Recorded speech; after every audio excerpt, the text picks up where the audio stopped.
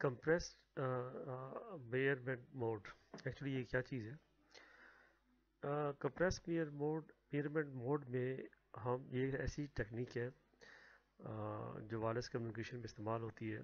इसमें हम करते ये हैं कि अगर हमें कोई मोबाइल यूज़र है या कोई मोबाइल स्टेशन है या मोबाइल फ़ोन है अगर वो एक वक्त में मल्टीपल फ्रिक्वेंसी रिसीव करना चाहे तो उस पर हम कंप्रेस मोड मेयरमेंट इस्तेमाल करते हैं।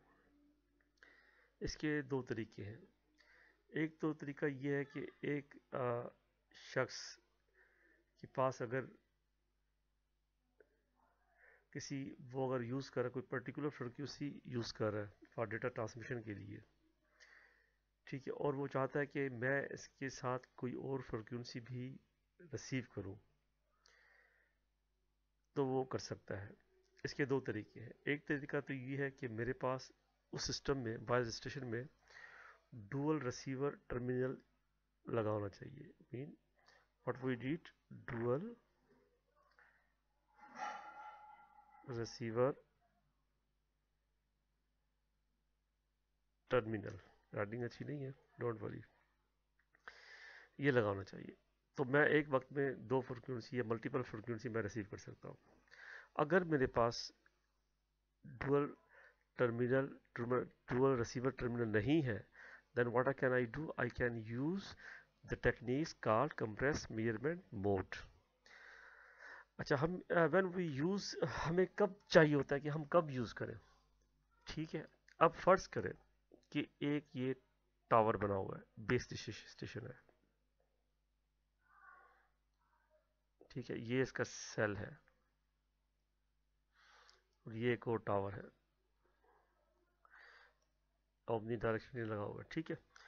अब एक ये यूज़र है, ये अब चाह रहा है कि मैं यहाँ से वो यहाँ पे मूव होना चाह रहा है, ठीक है। अगर फ़र्ज़ करें, यहाँ पे कोई एक चैनल वो इस्तेमाल कर रहा था, ठीक है, या कोई और फ्रिक्वेंसी इस्तेमाल कर रहा है, और यहाँ पे अब वो मूव हो रहा है एक सेल से दूसरी सेल की तरफ़ और यहाँ पे कोई दूसरी फ्रिक्वेंसी इस्तेमाल करना चाह रहा है। अब वो चाह रहे हैं हैंड ओवर हैंड ओवर होने से पहले कम से कम वो फ्रिक्वेंसी तो शिफ्ट सेंस तो करे। कि कौन कौन सी मेरे कौन कौन से नज़दीक सेल्स हैं कम्युनिकेशन सेल हैं जिनकी फ्रिक्वेंसी मेरे पास है जिसकी स्ट्रॉन्ग होगी वहाँ वो उस बेस स्टेशन पे वो शिफ्ट हो जाएगा। अब इसकी डिफरेंट है और इसकी डिफरेंट है। तो इस केस के अंदर इसको हमें डुअल रिसीवर टर्मिनल चाहिए। अगर वो नहीं है तो ये मोबाइल स्टेशन क्या करेगा या मोबाइल फ़ोन क्या करेगा अपने आप को कंप्रेस मियरमेंट मियरमेंट मोड में शिफ्ट कर देगा ताकि वो दोनों फ्रिक्वेंसी को डिफरेंट फ्रिक्वेंसी को वो रिसीव कर ले हैंड ओवर करने से पहले। अच्छा इसकी आ, तीन डिफरेंट टेक्निक्स हैं। एक तो ये अच्छा इसमें डेटा लॉस भी नहीं होता है। आप अगर फ़र्ज़ करें अगर मैं बात कर रहा हूँ ठीक है, और उसके बाद दूसरी फ्रिक्वेंसी मैंने रिसीव कर ली। इसकी मुख्तलिफ़ टेक्निक्स हैं, जिससे डेटा लॉस भी नहीं होता। और डेटा कंप्रेस ज़रूर होता है, लेकिन वो लॉस नहीं होता। इसकी तीन टेक्निक्स हैं। एक टेक्निक है lowering the data rate from higher layers इसको मैं नेक्स्ट वीडियो में इसको डिफाइन करूँगा। एक है स्प्रेड स्प्रेडिंग फैक्टर है, और एक है ट्रांसमिशन गैप लेंथ ये तीन मेथड है, जो हम कंप्रेस मेयरमेंट मोड में इस्तेमाल करते हैं।